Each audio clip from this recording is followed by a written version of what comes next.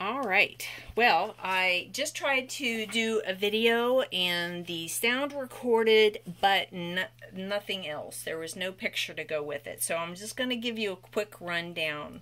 Um, so the project where I'm going to go over today is one I posted like last week, and they are these um, tea light candle holders using alcohol inks.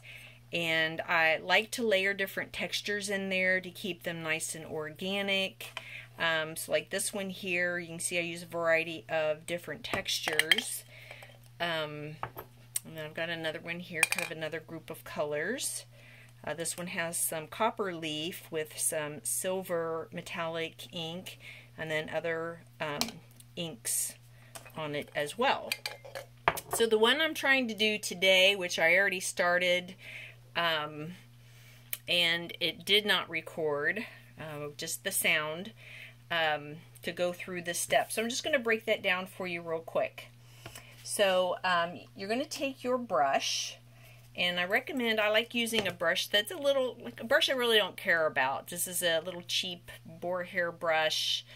Um, that way I don't ruin it if I forget if I've got some adhesive in it and um, it's easy if I need to kind of like tear or move some of the gold leafing. So I'm going to do the gold leafing first. And so for my adhesive, I'm going to use some Mod Podge. And I just put some here in a little lid for me to dip into. And I'm going to do that from the inside, starting kind of like down at the bottom. And I'm going to place that randomly around on the inside. Um, I was trying to get through it quickly, so I didn't give it absolute complete time to dry. This will still need to dry overnight. Um, but if you give it a little time um, for the glue to dry, it's always going to be better.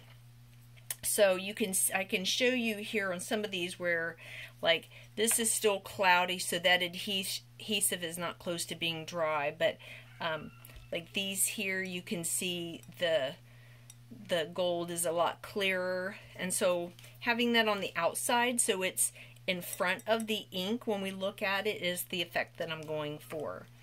Um, so after I get that all placed and give it a little bit of time to dry, I then put in um, my alcohol ink. So I started off with a gold metallic and um, I kind of drop that in randomly, getting some high and low in the cup.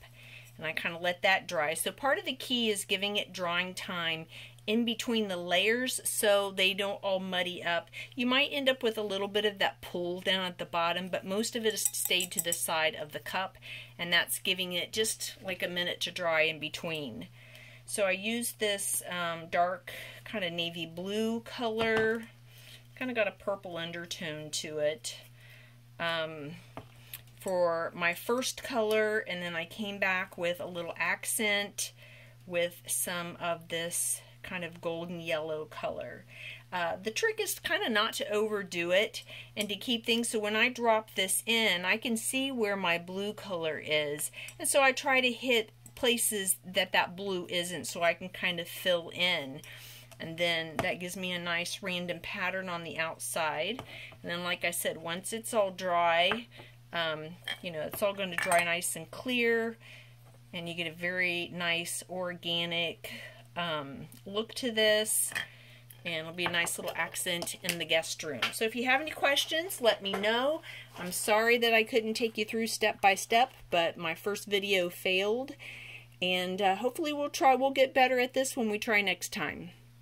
Let me know um, if you do it and how your project turns out or if you have something you'd like to see.